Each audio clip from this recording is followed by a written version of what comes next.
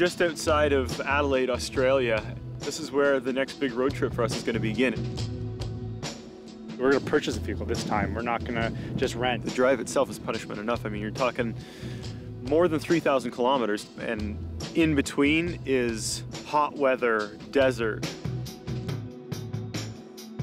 The beauty of a road trip is a mission, right? So, mission number one is to get some wheels.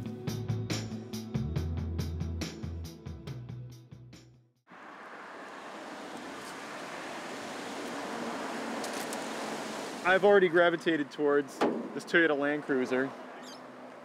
We're hoping to be able to get something in the neighborhood of about five grand, no more. Come on down to Somerton Car Sales. Give you the best deal this side of Australia. You don't want to pay five grand?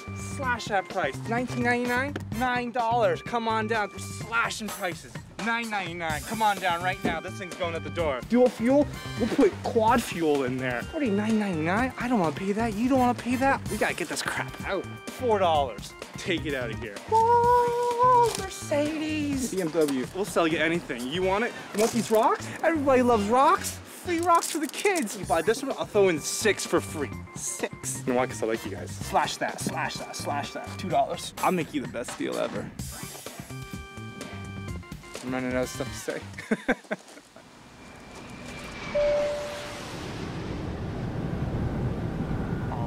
devices should now be turned off and stowed as they may interfere with the aircraft's navigational and communication systems.